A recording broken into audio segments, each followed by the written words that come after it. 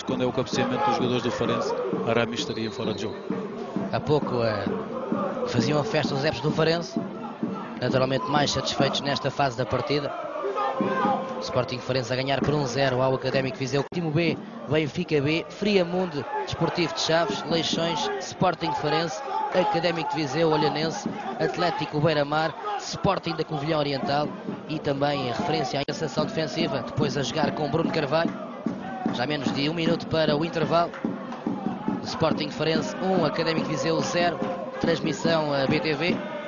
Estamos a acompanhar a 42 jornada da Segunda Liga Portuguesa de Futebol, época desportiva 2014-2015.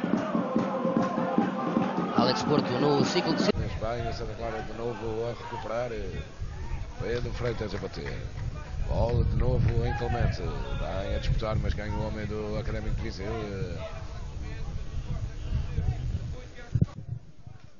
Deito Pedro Freitas para movimentar. Bola longa na zona de, de Clemente. Não disputa. O camisola 9 de Santa Clara corta. O jogador do Académico. Bola ainda na Académico. Procura sair para o ataque. Jimmy Advertir. Realmente tem trabalhado muito também o camisola 9 do Santa Clara, avançado desta equipa de Felipe Gouveia esta tarde. Ele que liberta-se no contrário, vai entregar em Tiago Ronaldo. Olha, Rosinho, Rosinho. Liberta-se, mas corta os jogadores do, do Académico. Vai. Sissoko. Este é Cedric. Tira para a zona de Eder. Está lá Erickson a controlar. Para Leão. Para Luís Carlos. Corte de João Real. Recupera André Leão. Sissoko. Éder a movimentar-se desde logo. Erickson a cortar. Agora Cohen. Cedric.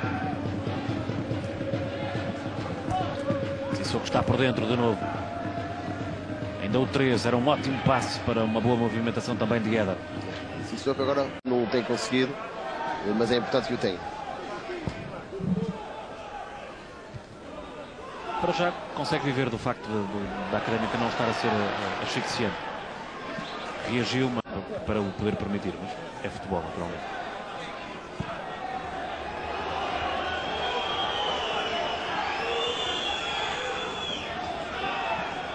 Leão espera.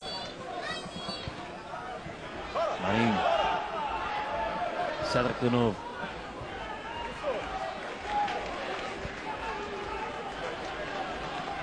La défense, alors la défense est l'habituelle avec Maxi, Louisan, Garay, Emerson, Arthur dans les buts bien sûr, le meneur de jeu Pablo Aymar, Bruno César très en forme, hein. il a marqué en Ligue des Champions face euh, au champion roumain d'Oceloul, Bruno César, euh, à droite on retrouvera Gaëtan, tonnerre d'attaque, ah, c'est l'un des trois Paraguayens qui sont sur la pelouse hein, ce soir, hein, parce qu'il y a Cohen et le défenseur de Passos aussi, Cardozo bien sûr. Attention Maxi qui va chercher Cardozo justement, c'est dégagé par. Ouais, malheureusement Maxi n'a pas réussi à lever euh, suffisamment son ballon. À qui on pense, hein, parce qu'il y a sa famille qui nous regarde du, côté de, du côté des Yvelines, et qui lui n'a pas encore joué depuis le début de la saison.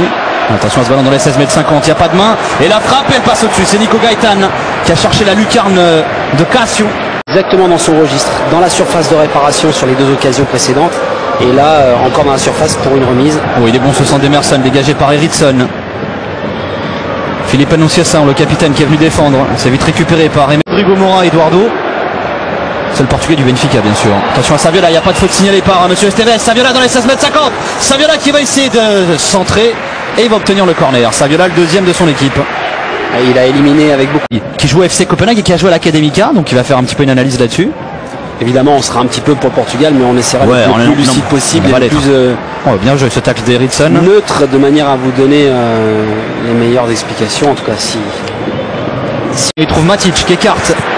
Elle est belle cette ouverture, Aymar qui n'est pas hors jeu, le contrôle superbe de Pablo Aymar, il va se présenter et Eriksson qui récupère ce ballon à la régulière, estime l'arbitre. Très belle intervention là de Eriksson. Jesus doivent absolument changer euh, à ce poste. Non, c'est pas ça, c'est que moi, si tu veux, ce que je trouve dommage, c'est que avant d'aller chercher Garay, Miguel Vitor, il était là, ah, il faisait des bons matchs et là, tu pouvais la garder ton ossature. Ah, d'accord. Et, okay. et, tu vois, et, et construire là-dessus. Oh, c'est facile quand même. Hein. C'est quand même facile. Hein. Là, il, il, rentre dans la moitié de terrain adverse et dans la surface de, ré de réparation adverse avec une facilité déconcertante les joueurs du Benfica. Oui, parce que les, les défenseurs de Passo, c'est bah,